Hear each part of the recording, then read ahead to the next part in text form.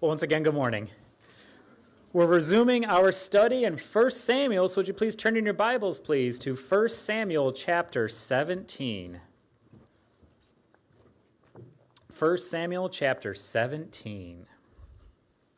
It's quite likely that we'll finish the book of 1 Samuel sometime in March, if I had to guess, and then we'll go back to where we are in the New Testament, which means we'll be in 2 Corinthians on Sundays, uh, starting sometime in March. Well, this morning we find ourselves in perhaps the most famous, if not one of the most famous accounts in all of the Bible David and Goliath. And the title of our message this morning is simply Fighting Our Battles. Anyone in here have any battles that they had to face in 2022 or even in 2023? We're going to see what the Lord's word has to say to us this morning about it. So before we dig in, would you bow your heads and your hearts with me one more time as we seek the Lord's blessing? What an honor and privilege it is, Lord, to have your word at our fingertips. Lord, this is a, uh, a section of Scripture that can almost betray us with its familiarity because we know how it plays out. But Lord, we ask that through your Holy Spirit you would speak to us in new ways, that you would reveal things in our own hearts. Lord, that you would transform us into your glory. We ask this all in Jesus' name. Amen. Amen. Well, again, it's been a couple of weeks with the Christmas holiday, and then we had a special New Year's Day message last week. So it's been a couple of weeks since we've been in 1 Samuel. So we should just take a couple of moments and remind ourselves where we're at, just to kind of get our footing for what's taken place. If you remember, Saul was told by God, King Saul, that he was going to lose his throne because of his repeated disobedience to God. And after that, the prophet Samuel then anointed a young man named David as the successor to the throne. One day, a little shepherd boy named David would become the king of all of Israel. And after his anointing by Samuel, do you remember what David did? He did not order a new set of business cards that said King elect. David did not grab a chariot and race through the streets of Bethlehem saying, I'm God's choice. You're looking at Saul's replacement. That's not what David did, is it? No, David awaited further instruction by God. See, at this point in David's life, his responsibility wasn't armies or battles or even kingdoms. His duty was to care for the sheep that God had given him. And this is a theme that we repeatedly see throughout the scriptures. Remember, it's being obedient and faithful to wherever God has called you. And then he gives us additional areas of responsibility. Let's dig into our study, reading verses 1 through 3, 1 Samuel 17. It says, Now the Philistines gathered their armies together to battle, and were gathered at Socoh, which belongs to Judah. They encamped between Socoh and Azekah in Ephes Dammim. And Saul and the men of Israel were gathered together, and they encamped in the valley of Elah, and drew up in battle array against the Philistines. The Philistines stood on a mountain on one side, and Israel stood on a mountain on the other side, with a valley between them. Now, the valley of Elah is about a mile wide, and there's a brook that runs about 20 feet wide that cuts through this valley. And this brook actually overflows through the rainy season. If you ever get an opportunity to go to Israel, we take you to this valley. And I have with me this morning a stone I picked up from the valley of Elah. Who knows? This could be the very stone. This is not, you know what they do? If you ever go, so many tourists take stones from there. They bring in truckloads, five ton truckloads from other areas and dump them all there. And then the tour guide will say, maybe this is the stone. It's not the stone. Okay. But you can see left side, right side, those are the two mountains, and the valley is in between. That's the setting for David versus Goliath. Verse 4. And a champion went out from the camp of the Philistines named Goliath from Gath, whose height was six cubits in a span.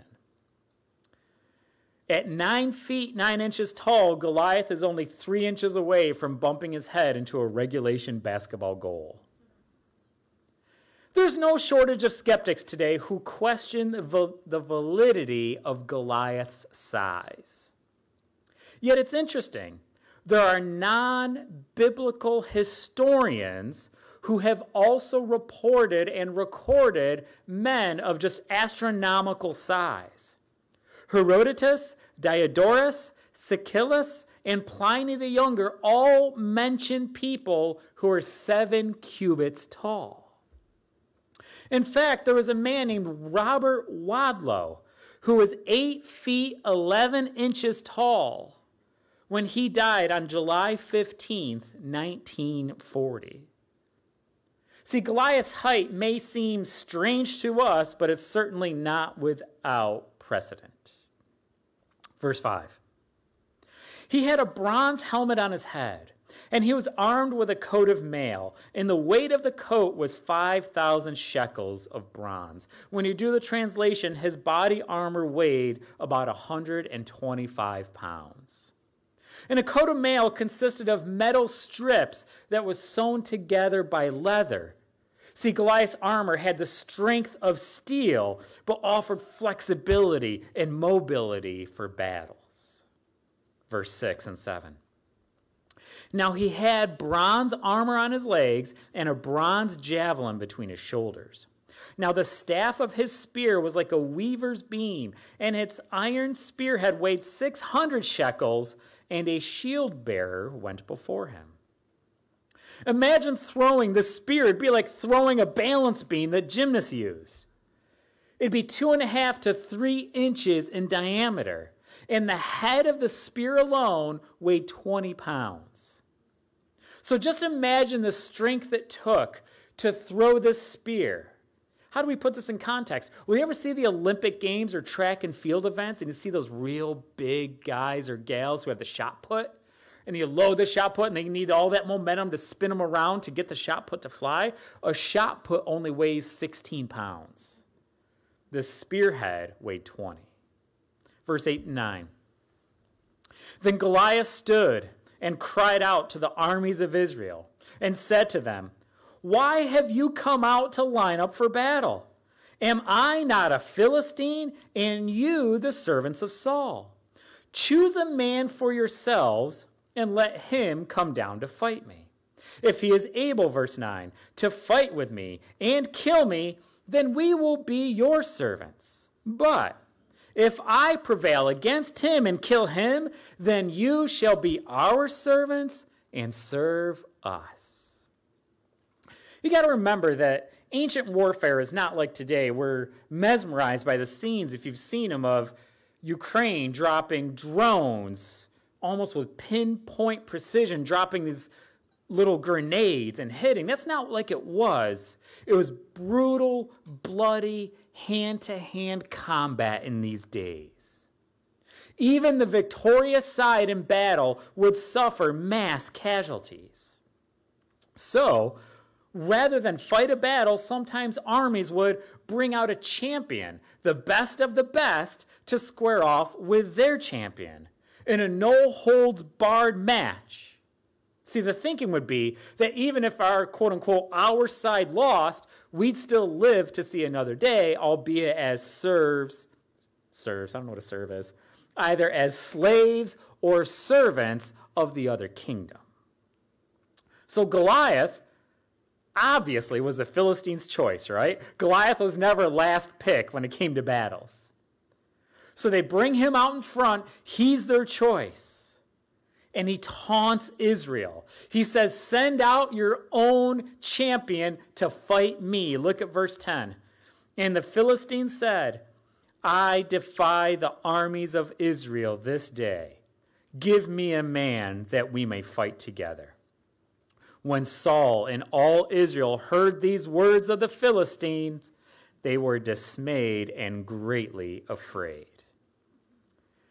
If you were here a few weeks ago when we talked about Saul and his appointment to kingship, we learned an interesting detail about Saul. Do you remember what it was? Who was the tallest man on all of Israel? It was Saul. King Saul was the one who came closest to matching Goliath physically.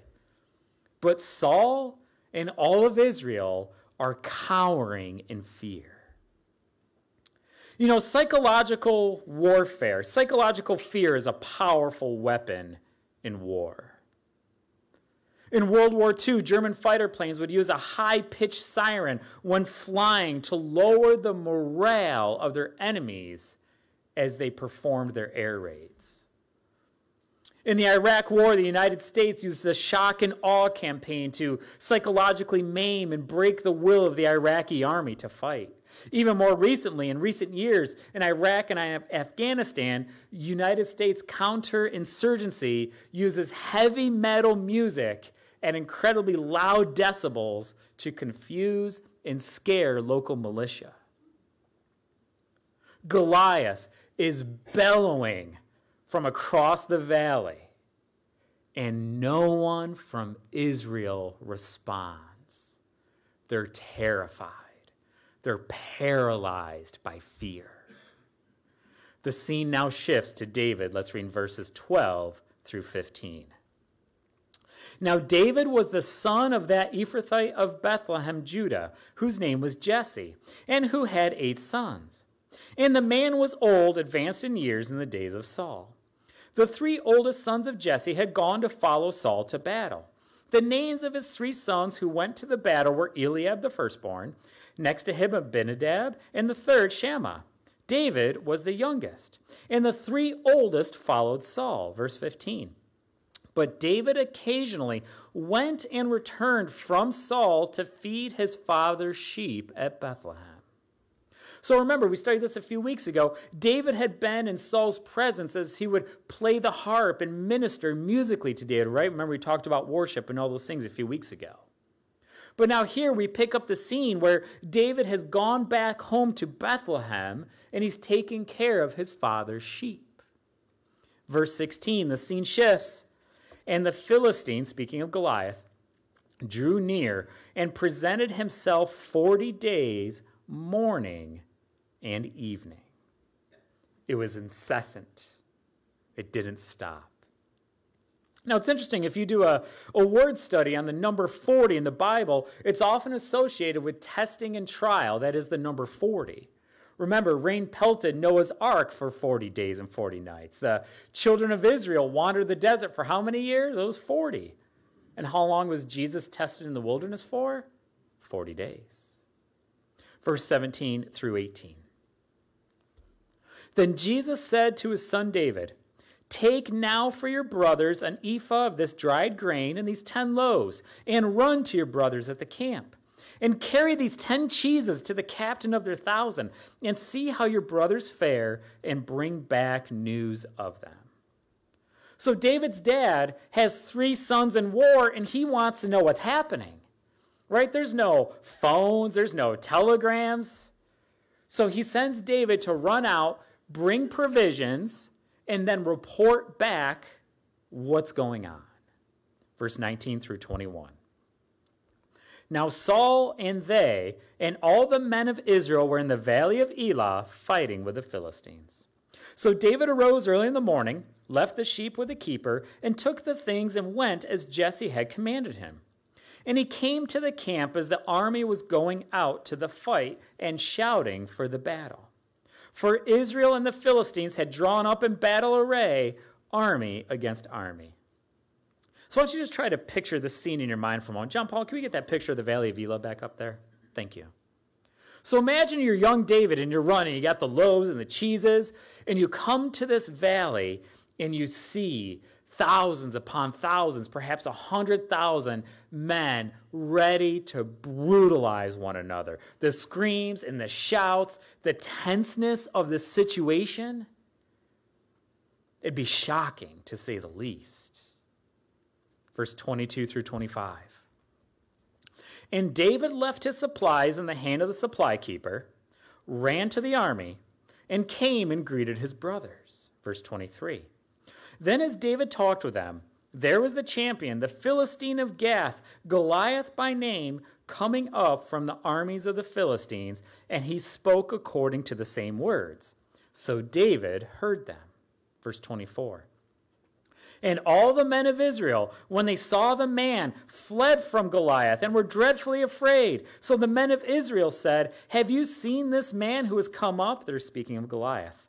Surely he has come up to defy Israel. And it shall be that the man who kills Goliath, the king will enrich with great riches, will give him his daughter, and give his father's house exemption from taxes in Israel. So Saul, King Saul, had the authority and he offers a three part lucrative reward to whatever man was bold enough to fight and attempt to defeat Goliath. First thing, the man would get great riches. He'd be like Scrooge McDuck swimming in all the gold. Is it Scrooge McDuck that does that? Do I have that right? I can't remember. I don't know why that popped up. Second, the second reward, the man would get Saul's daughter in marriage. Hey, you marry the king's daughter, now you're close to the king. But perhaps the most attractive perk at all, look at the end of verse 25, a lifetime tax exemption for you and your family. That's a pretty good deal, right? Yet nobody is courageous enough to step forward and fight Goliath verse 26 and 27. Then David spoke to the men who stood by him, saying, What shall be done for the man who kills this Philistine and takes away the reproach from Israel? For who is this uncircumcised Philistine that he should defy the armies of the living God? Verse 27 And the people answered David in this manner, saying, so shall it be done for the man who kills him. David shows up on the scene, hands off the supplies, talks to his brothers, and then hears Goliath bellow. Who will fight me? All that business. And David can't believe his ears.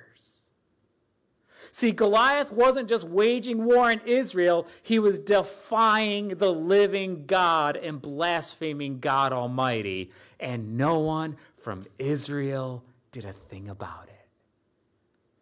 And David is stunned. He's shocked.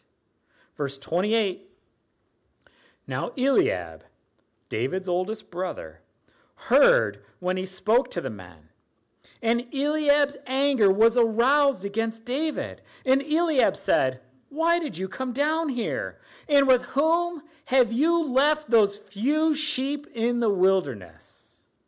I know your pride and the insolence of your heart, for you have come down to see the battle. Please notice the significant opposition that comes against David before he even picks up a stone.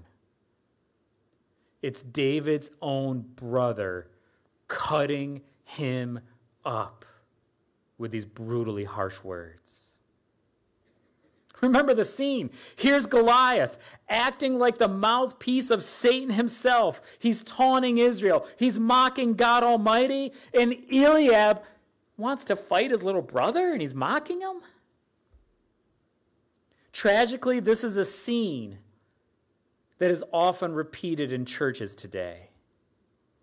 Even in the face of the lost world all around us, and with the end times upon us, some folks in the church prefer to battle over insignificant things, and they do so by cutting one another down.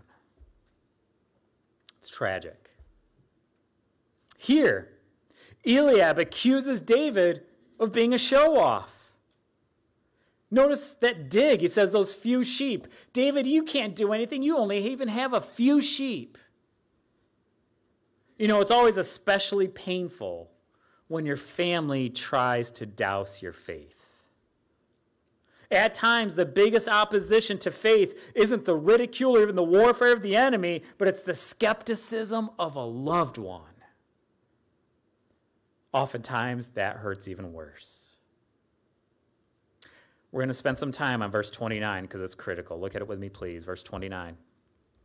And David said, What have I done now? Is there not a cause?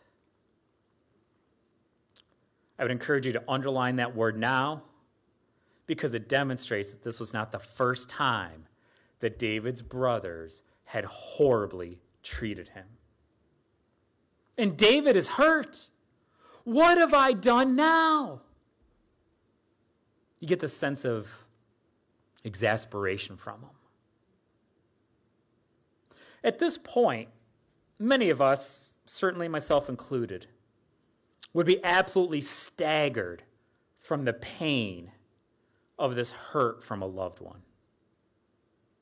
But David's following words are key. Look at the verse again. He says, Is there not a cause? These words are critical to the events that are about to unfold. See, David's not concerned about his own glory. David's not concerned about his own success. And David's not even all that concerned about trying to defend himself in front of his brother. David's concern is for the glory and the success of God Almighty's cause and plan. It's right here, at this moment, that this bellowing, intimidating giant named Goliath is a dead man walking. This is where the battle was won. You see, if Eliab's hurtful words could get David in the flesh and step out of the spirit of God Almighty, if Eliab's hurtful words could get David to turn the focus upon him and his hurt and his pain and focus on himself, then what would happen? David's strength would be all gone. But in the midst of his hurt, in the midst of these insults and pain from his brother, David focused upon the Lord. David was more concerned about the cause of the Lord than himself. Notice he says, Is there not a cause? It's for the cause of the Lord. And at this point, little does Goliath know he's a dead man walking. Verse 30 We're read verse 30 and 31. Then David turned from Eliab toward another and said the same thing. Notice that. David turns from his brother and says the same thing. Is there not a cause? Isn't anybody going to do anything about this? He's blaspheming God Almighty. Look at the end of verse 30. And these people answered him as the first ones did. Verse 31 is also critical. Now, when the words which David spoke were heard, they reported them to Saul, and he sent for him. To be clear, David is not bragging, he's not boasting. He's saying, Put me in front of Goliath and I'm going to whip this giant's butt. It's going to be a show. That's not what David's saying. So, what's happening here? Why were David's words reported to Saul? And why were David's words so impactful that the king sent for him? Because David alone is courageous while everyone else is fainting in fear.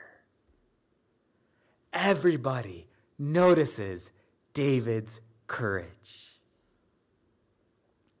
You and I find ourselves in very similar circumstances today. There's a lot to be afraid of, isn't there?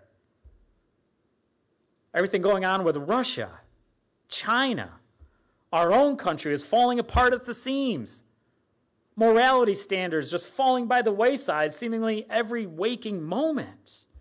Inflation's out of control. $5 for like 18 eggs? This is nuts.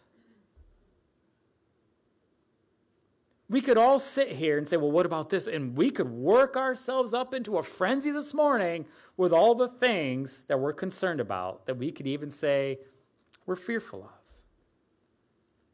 But as followers of Jesus Christ, we know the end of the story. Amen? We win.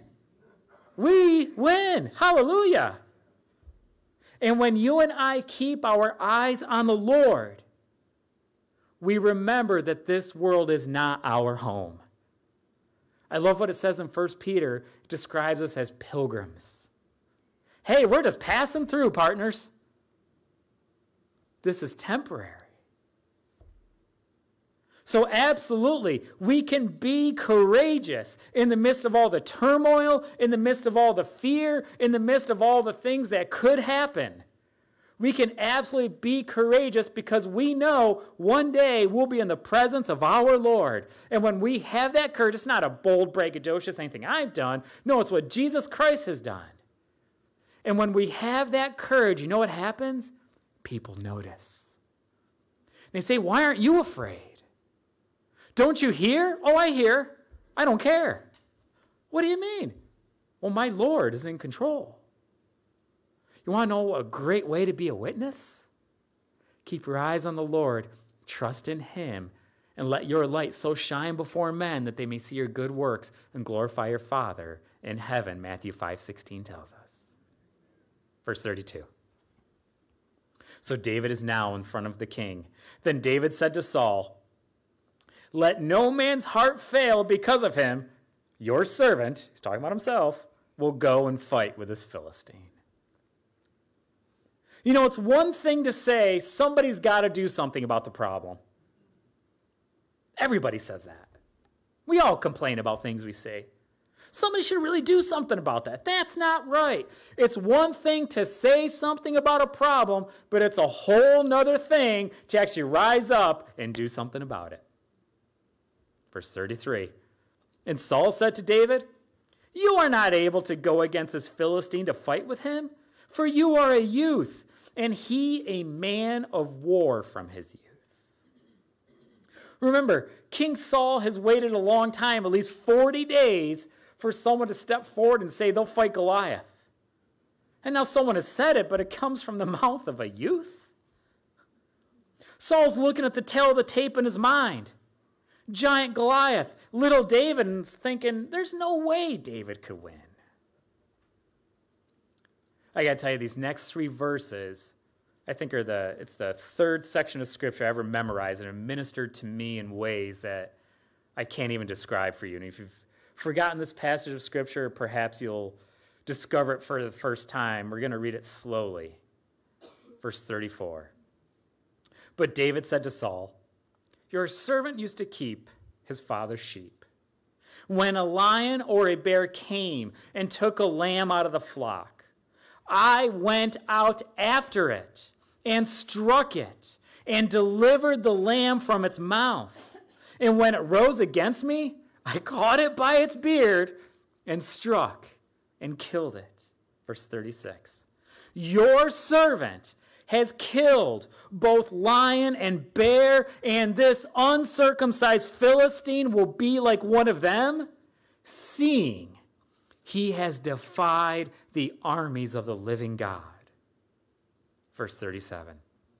Moreover, David said, The Lord, who delivered me from the paw of the lion and from the paw of the bear, he will deliver me from the hand of this Philistine. And Saul said to David, Go, and the Lord be with you. As a shepherd facing lions and bears trying to steal a sheep, David had no idea at that time that he was actually in basic training to fight a giant. Yet now, hindsight being 2020, David could look back and know that the same God who delivered him from the lion and the bear, that same God will deliver him now from the hands of mighty Goliath. In the midst of our preparation, we rarely know how God is going to use it in the future. But God does, amen? The question is how we respond in those moments of trials and storms and calamities. Verse 38 and 39. So Saul clothed David with his armor, and he put on a bronze helmet on his head. He also clothed him with a coat of mail. David fastened his sword to his armor and tried to walk, for he had not tested them. And David said to Saul, I cannot walk with these, for I have not tested them. So David took them off. It's fascinating to me that King Saul's not brave enough to fight Goliath himself, so he tries to do the next best thing and give young David his armor. But there's a problem the armor doesn't fit. And this makes sense, right? Remember, Saul, super tall, David, a youth. Can you imagine trying to wear like, like he's like, I can't do that. And there's a critical lesson here for you and I. If the Bible and prayer and the power of the Holy Spirit have strengthened Christians for centuries, sustained believers in the throes of death, worked miracles, won victories, even slain giants in Jesus' name, why do we ever think we need to adopt the latest Christian fad? We don't need some fancy new book. We don't need some fancy new technique. We need the Word of God for it to be applied to our heart and for us to be surrendered to it. It's that simple, but oh, that hard. So rather than strap on another person's armor, we need to fellowship with the Lord and trust what the Lord has for us through his word. Verse 40 Then David took his staff in his hand, and he chose for himself five smooth stones from the brook, and put them in a shepherd's bag in a pouch which he had, and his sling was in his hand, and he drew near to the Philistines. A question's been posed for many, many, many years. Why did David grab five stones? Well, we learn in 2 Samuel 21 that Goliath had four other brothers, so the thought is perhaps that David grabbed five stones, one for each one, but we don't know for sure why he picked up five stones. But I want to draw your attention to a different part of the verse, the end of verse 40. It says he drew near to the Philistine. See, faith is about to take action, isn't it? See, David could have said all the bold words. David could have renounced Saul's armor. He could have trusted in God's armor. And David could have grabbed all of his ammunition. But if David never went to battle, what would have ever mattered? Folks, remember the Dead Sea is dead because water flows into it, but no water flows out we all need to apply our faith. It can't just be all taking in, it's got to be pouring out. We got to let the Lord use us and stretch us. Verse 41 through 43. So the Philistine came and began drawing near to David, and the man who bore the shield went before him. And when the Philistine looked about and saw David, it's interesting, it says looked about, it's implying that David was so small, Goliath didn't realize that David was the champion that Israel chose. It'd be like me and some of you walking by, right? You're like, where's Brian? Oh, I'm right here. Verse 42 And when the Philistine looked about and saw David, he disdained him, for he was only a youth ruddy and good looking. Ruddy is redheaded. So the Philistine said to David, Am I a dog that you come to me with sticks? And the Philistine cursed David by his gods. When Goliath asks, Am I a dog? Please understand this is much worse than it sounds. The Hebrew word for dog is Caleb which implies, especially in the book of Deuteronomy, to a male homosexual prostitute. See, Goliath takes David coming out to fight him as the highest insult to Goliath's manhood possible. Goliath is raging. Verse 44 through 47. And the Philistine said to David, Come to me, and I will give your flesh to the birds of the air and the beasts of the field. Then David said to the Philistine, You come to me with a sword, with a spear, and with a javelin. But I come to you in the name of the Lord of hosts, the God of the armies of Israel, whom you have defied. This day the Lord will deliver you into my hand, and I will strike you and take your head from you. And this day I will give the carcasses of the camp of the Philistines to the birds of the air and the wild beasts of the earth, that all the earth may know that there is a God in Israel. Verse 47. David says, Then all this assembly shall know that the Lord does not save. You may want to underline this. The Lord does not save with sword and spear, for the battle is the Lord's, and he will give you into our hands. It's one thing to believe in your heart silently, it's another thing to make a bold statement publicly, isn't it? And David here is bold, not in himself. David is bold for God Almighty. David knew that the battle belonged to the Lord. Verse 48 So it was. When the Philistine arose and came and drew near to meet David, it's one of my favorite parts in all the Bible, that David hurried and ran toward the army to meet the Philistine. So you can picture the scene, right? Large, lumbering Goliath moving towards David. And young David is running towards the enemy. David didn't run away. He didn't hide, nor did David panic. In fact, shockingly enough, David didn't even drop to his knees to pray, did he? This can be a struggle for some Christians, this very point. Hey, is God supposed to do the work or am I supposed to do the work? The answer is yes. God does it and we do it. He works through us. Absolutely. Trust God and rely fully upon Him, then get to work and work as hard as you can. Run right at the enemy. How the work of God gets done. It was C.H. Spurgeon who said this quote, The lazy bones of our Orthodox churches cry, God will do his own work, and then they look out the softest pillow they can find and put it under their heads and say, The eternal purposes will be carried out, God will be glorified. That is all very fine talk, but it can be used with the most mischievous design. You can make opium out of it, which lull you into a deep and dreadful slumber and prevent your being of any kind of use at all. Absolutely, there is a time to pray, pray, pray, and then pray more. Prayer is critical. There is a time to pray, but then there is also a time to act. Verse 49.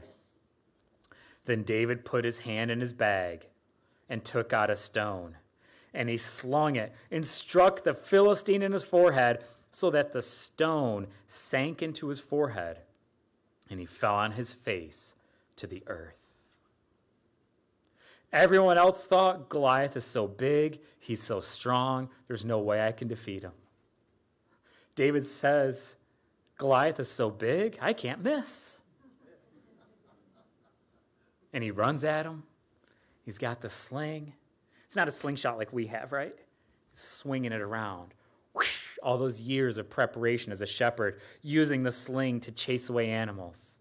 And it catches Goliath right in the forehead. So much so that the stone, it says, sinks into his forehead.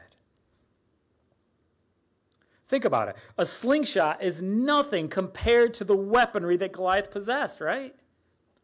But interestingly enough, some scientists have done studies. The stones in the Valley of Elah are made of barium sulfate, which are heavier and denser, making the stone like a little missile that just absolutely flew. Verse 50 and 51. So David prevailed over the Philistine with a sling and a stone, and struck the Philistine and killed him. But there was no sword in the hand of David.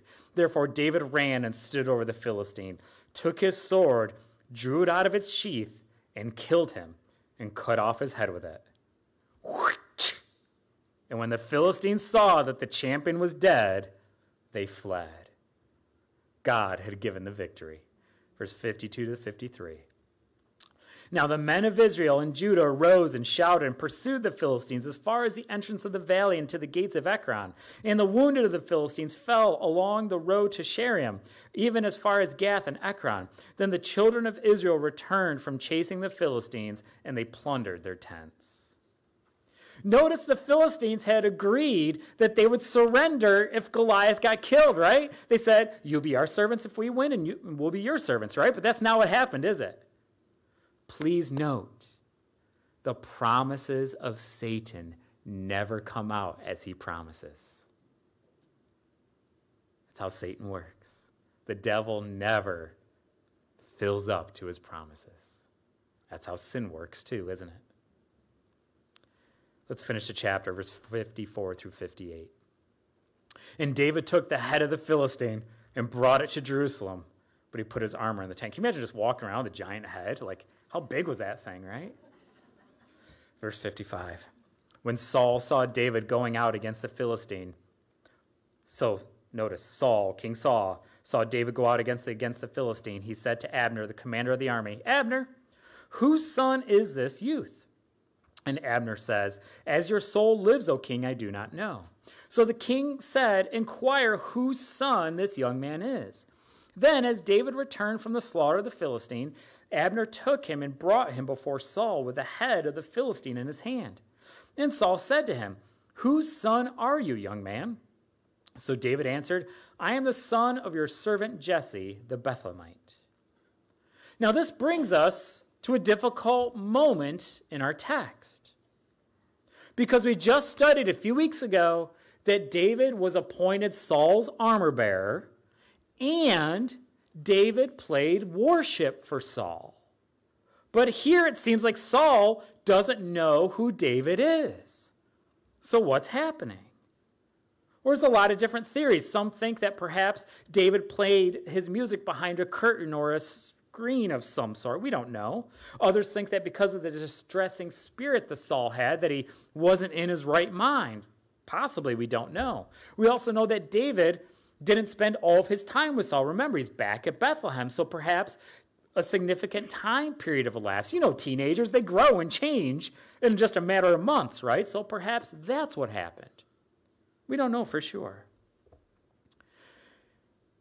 But I want you to point out I don't want you to point out, I'm going to point out. I'd like to point out that David had no idea that he was the forerunner of the one who would leave his father to be born in Bethlehem in order to save us from a Goliath of an enemy who wants to destroy us. Jesus Christ comes from the lineage of David. It's fascinating to me, even more than the incredible events of David slaying Goliath. It's amazing to me the faithfulness of David, who is simply being obedient to an errand that his dad had for him. That's how all this came about. Remember, Jesse said, David, go bring some food and see how the battle's going. And David could have protested. Dad, don't you know I'm the future king? I'm no DoorDash driver. Let those guys find their own cheese sandwiches. I got to get ready to take the throne. That's not what happened, is it? David just obeyed and served. All from a simple errand. And this is often how God's directions come. We may be looking for some spectacular sign from heaven in a neon light, or even a mysterious voice in the night. More often, though, God speaks to us through the everyday occurrences in life. When we're walking with God and directed by His Holy Spirit and faithfully taking care of the responsibilities that He's entrusted to us, God will absolutely guide our steps and direct our paths, and He will use us for His glory. I also find it interesting that this is not the last battle that David ever faces, is it? Sometimes we forget that. We're like, David beat Goliath and that's it. No, that's not it. David will have many, many, many more battles as we continue to go through the Old Testament that we'll see. Here's a young man who killed a lion, killed a bear, and now a giant. And it's just preparation for what he's going to have to face in the future. I want to invite our worship team up as we get ready to close. Some of you this morning are facing your own Goliath, aren't you? The problem you're facing is big, and your problem is intimidating. You look at the tools at your disposal, and it doesn't even seem like they can make a dent.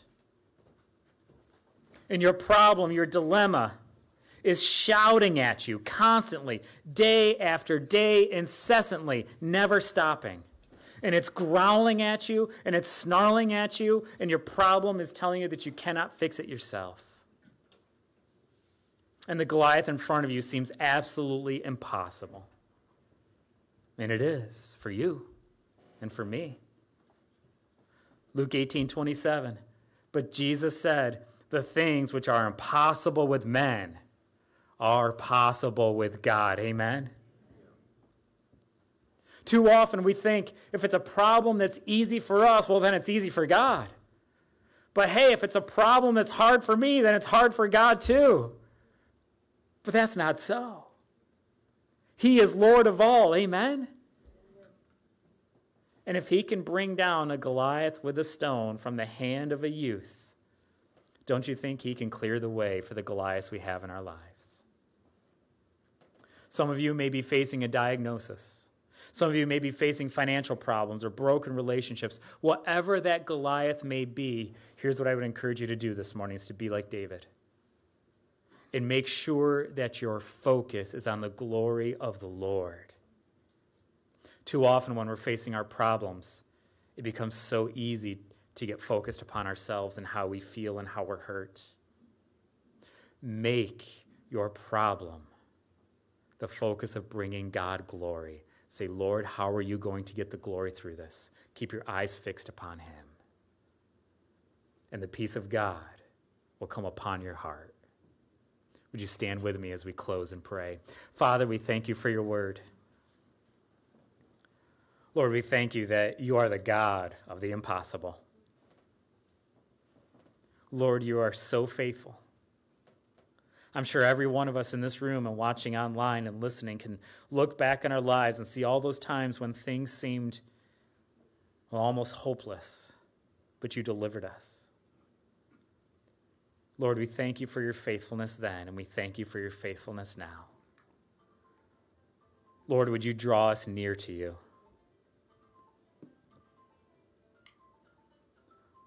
Lord, would you shape our focus that our eyes and our hearts may be concerned with your glory? We ask all this in Jesus' name. Amen. Before you leave here today, I would encourage you to pray for one another to ask each other, perhaps even somebody you don't recognize, hey, how can I pray for you? I know it's awkward sometimes. That's okay. Get over it. because if you're not willing to pray for someone in this room, it becomes a whole lot harder to pray for a stranger out there. Amen? Amen. Let's give the Lord his praise.